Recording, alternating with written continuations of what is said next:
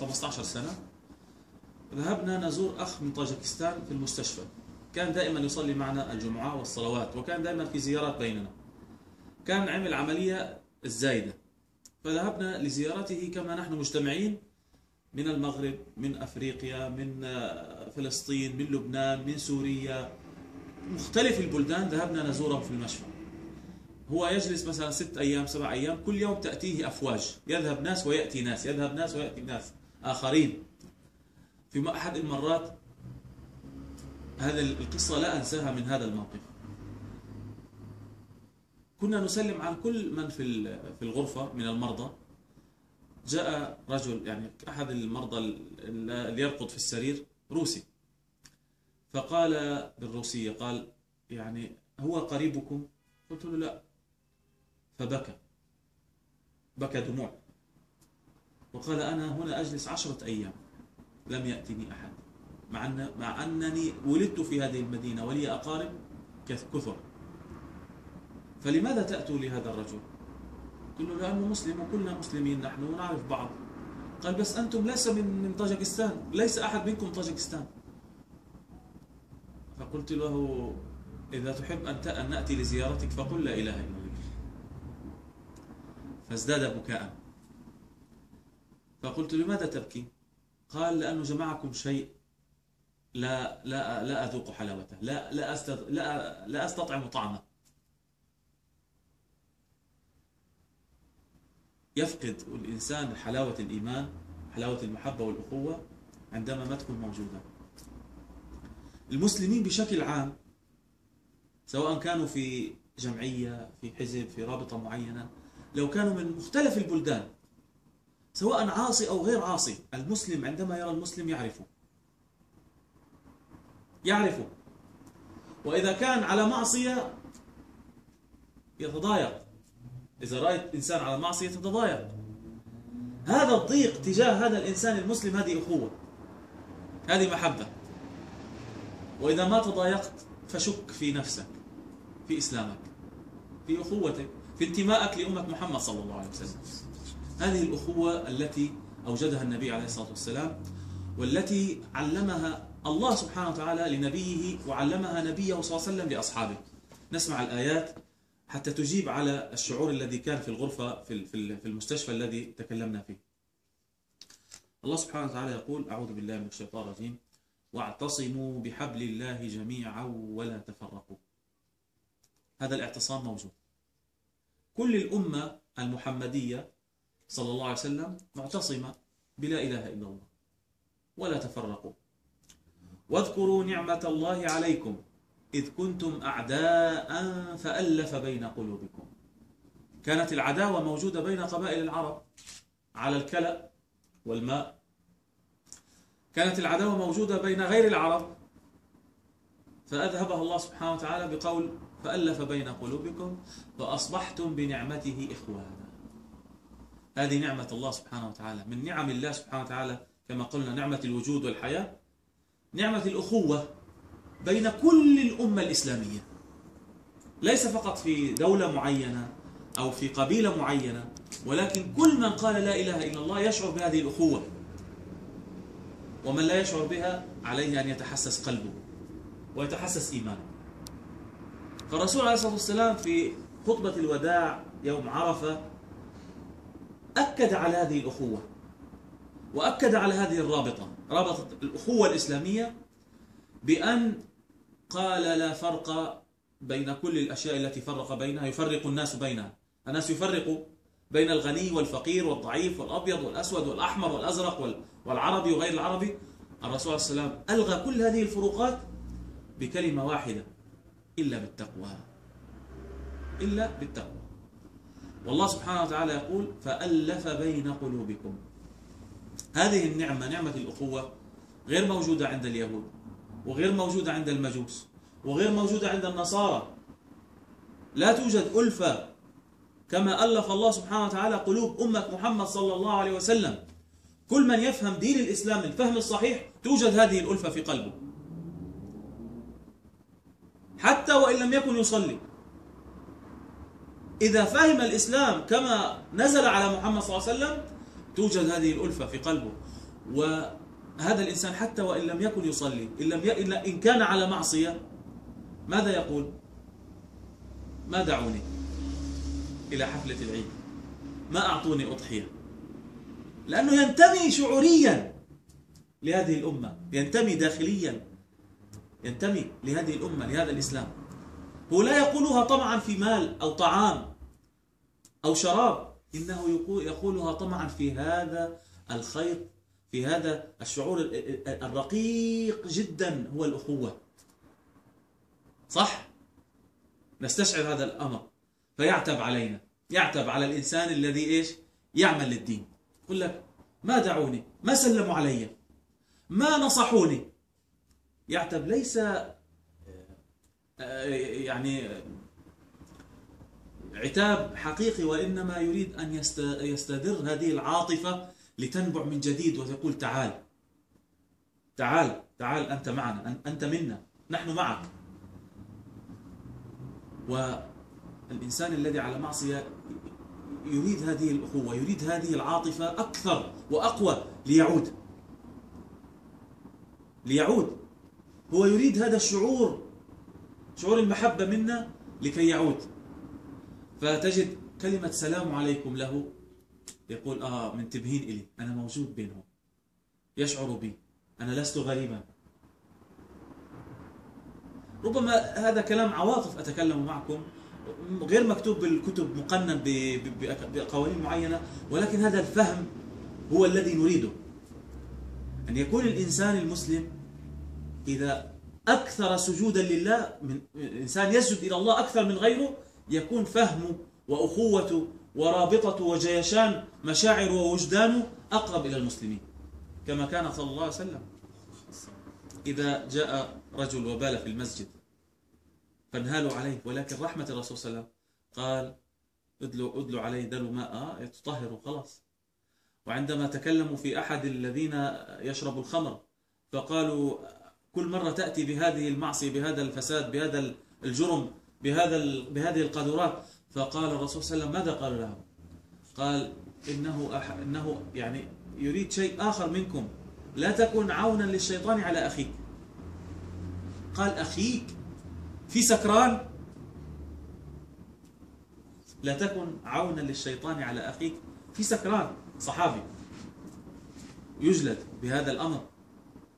لا تعين الشيطان على أخيك. قال الرسول صلى الله عليه وسلم على أخيك وهو على معصية وكبيرة. لا تكون للشيطان عونا لأن الشيطان يريد أن يكسر هذه الروابط هذه المشاعر. وأعداء الإسلام العالميين بشكل عام كل منهجهم وكل فكرهم وكل شيطانتهم يريدوا أن يخرجوا هذا القرآن وصلاة الجمعة من بيننا. الذي يجمعنا القرآن وصلاة الجمعة يفرق بين المسلمين. بالإعلام بالحروب بشتى الوسائل بالاقتصاد بالسياسة. بشتى الوسائل يريد أن يخرجوا هذه العاطفة. حتى أن المنافقين الرسول عليه الصلاة والسلام ماذا قال؟ هل فضحهم؟ هل أفشى أسماءهم؟ هل قتلهم؟ منافقين محض. كما قال الله سبحانه وتعالى فيهم ومن أهل المدينة مردوا على النفاق. يعني مردوا يعني صاروا مردة كبار في النفاق. لا تعلمهم نحن نعلمهم. كانوا بين المسلمين إخوة للصحابة منهم من تاب ومنهم من بقى على نفاقه الله أعلم بهم. حتى هذه المسألة مسألة المنافق بين المسلمين لم يفتضح. له له ما للمسلمين وعليه ما على المسلمين. له هذه الرابطة نستشعر بها. وندعو له بالصلاح. ونخشى على أنفسنا ما وقع فيه. هذه الأخوة الله سبحانه وتعالى هو الذي ألفها. فلا أحد يفكها إلا الله سبحانه وتعالى. متى تنفك؟ إذا خرج الإسلام من الإنسان من الإسلام. خرج من الإسلام يصبح شعور آخر. شعور آخر خلاص. وأنت تشعر نفسك إذا قالوا فلان كان مسلم وأصبح نصراني. ماذا ستشعر وسيكون أحاسيسك ومشاعرك ناحيته؟ هل كما كانت؟ مستحيل. راجل طلق زوجته. في بغض في مشكلة ولكن لا يكرهها كرهه للمجوسي أو كرهه للكافر. لا يكره هذا الكره. صح؟ يبقى شعور الأخوة والعطف على على مسلم. فلذلك لما تجد المسلم آه الله سبحانه وتعالى جعل دمه أحرم من هدم الكعبة. المسلم يجب يشعر بأخوه هكذا أنه حرمة هذا الإنسان دمه وماله وعرضه ليس فقط الدم والمال والعرض يعني اللسان لازم يكف. المال الحرام لازم نكف. ما نسرق ما ما ننهب ما نختلس ما نخون. هذه كلها من آه، حقوق الأخ أي أخ مسلم أي إنسان مسلم دمه وماله وعرضه. كل المسلم على المسلم حرام. دمه وماله وعرضه. من أشار إلى أخيه بحديدة إيش إيش الحديث؟ من أشار إلى أخيه بحديدة تلعنه الملائكة حتى يدعه يضعها.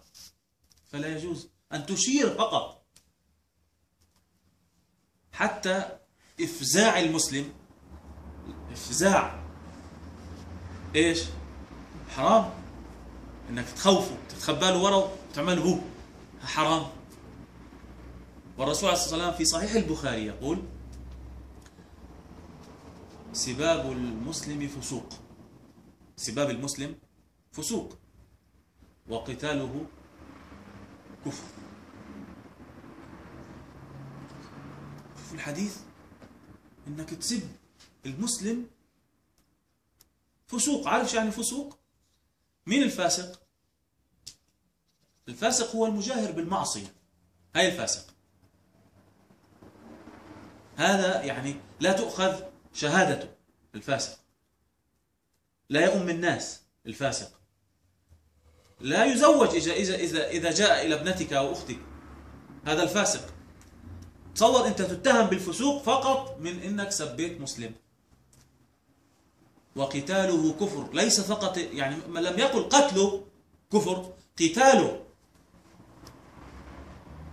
حرمة الأخ الأخوة. حرمة الأخ. فإذا سمعت يتكلم يعني أتعجب من إنسان يصلي جوارك في الصلاة ثم تخرج وتسمع إنسان آخر يتكلم فيه وتسكت. كائنا من كان. يعني أنت تشهد له هو بجوارك في الصلاة تشهد له بالإيمان. كيف يأتي آخر؟ حتى لو كان يصلي الآخر وتسمح له أن يتكلم فيه لا تسمح له. أقل الإيمان أن تذهب وتقول لا أس... لا أوقف معك في هذا الحديث. لا لا أوقف معك لا أسمع. ما أشاركك الغيبة. فألف بين قلوبكم فأصبحتم بنعمته إخوانا. فأصبحتم بنعمته إخوانا. وكنتم على شفا حفرة من النار فأنقذكم منها.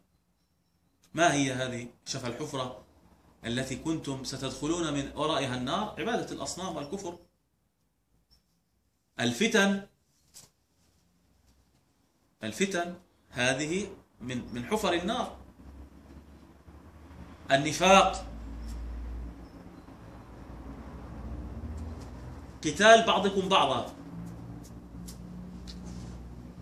قتال بين البعض.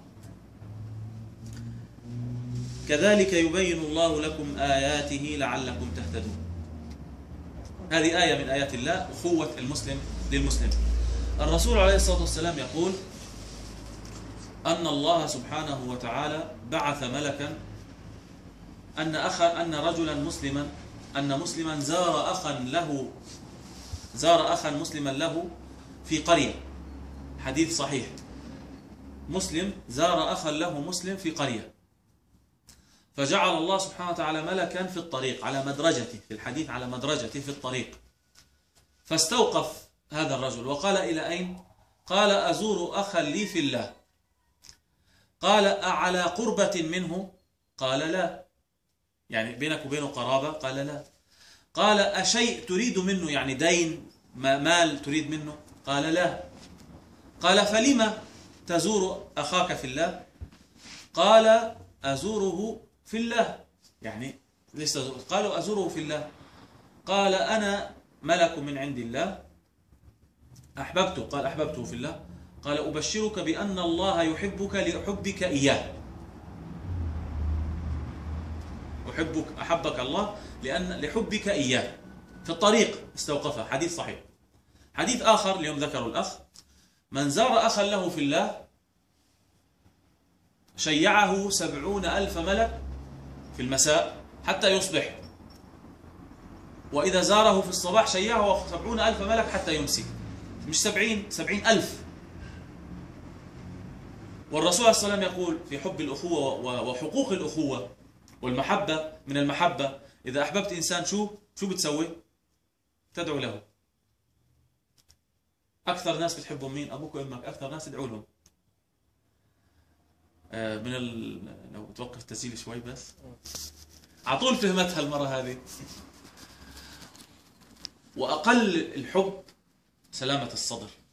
أقل الحب سلامة الصدر. شو يعني سلامة الصدر؟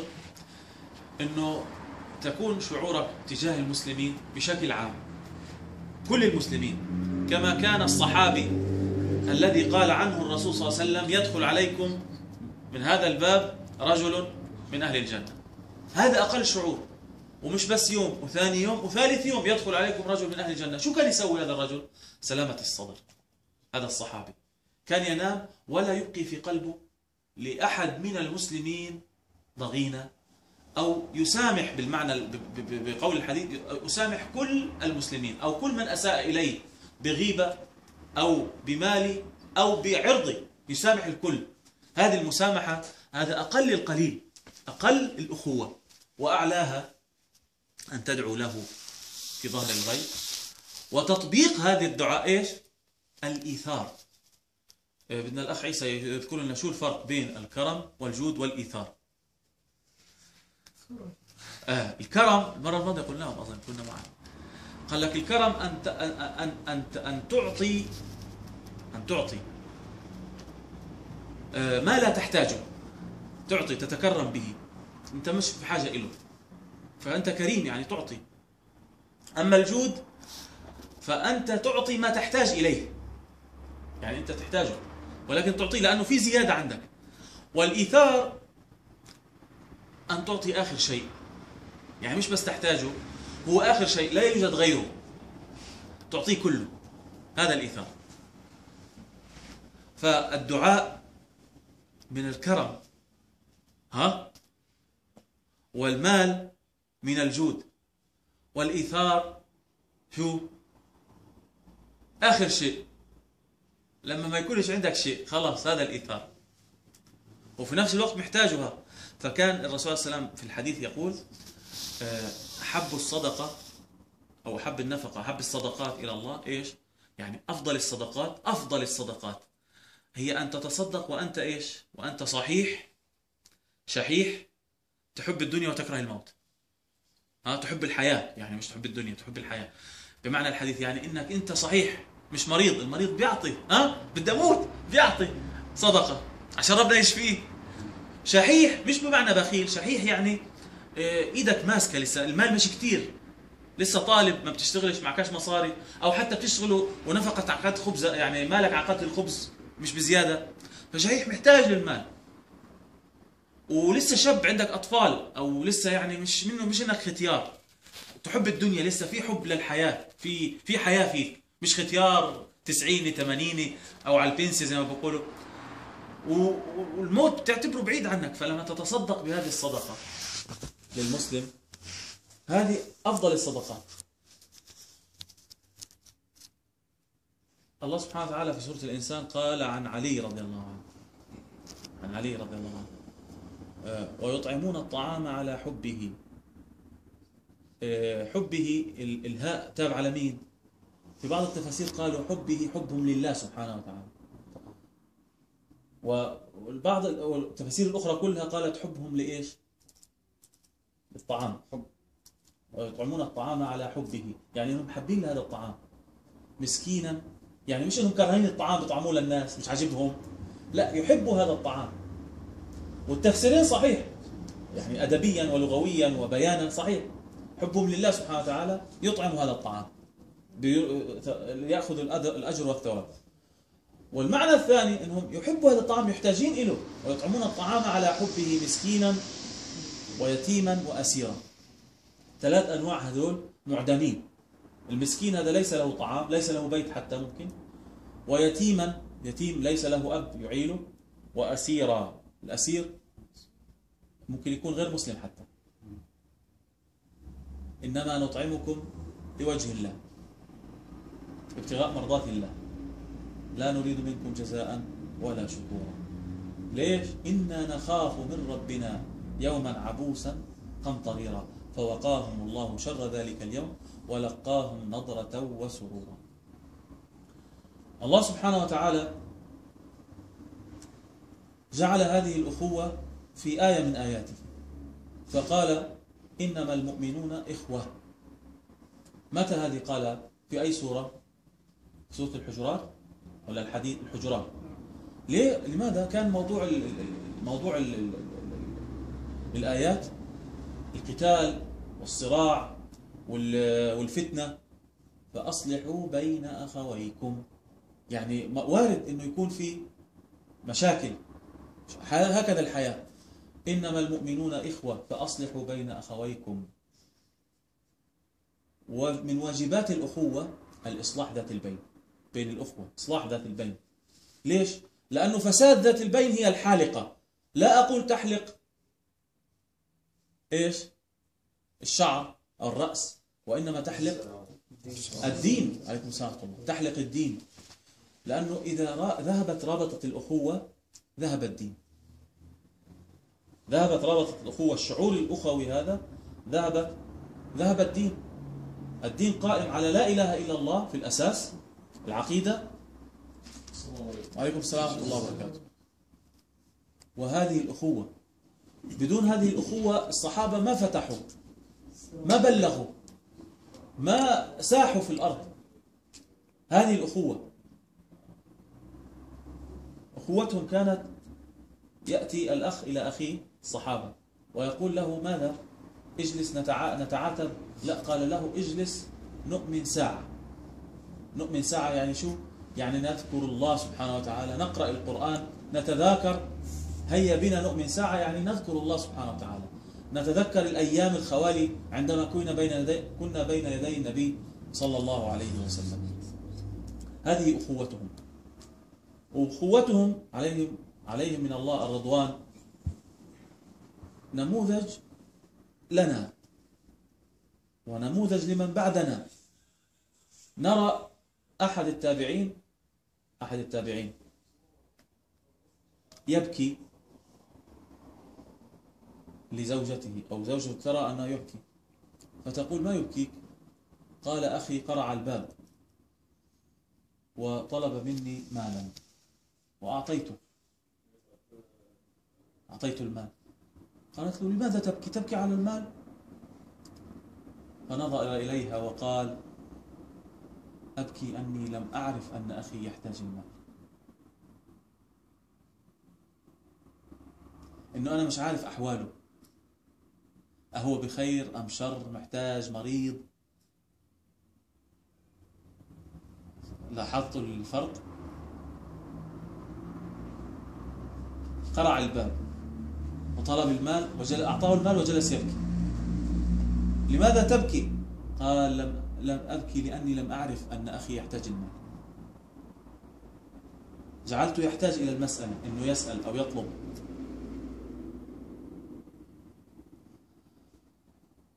الحمد لله. بارك الله فيكم وجزاكم الله خير.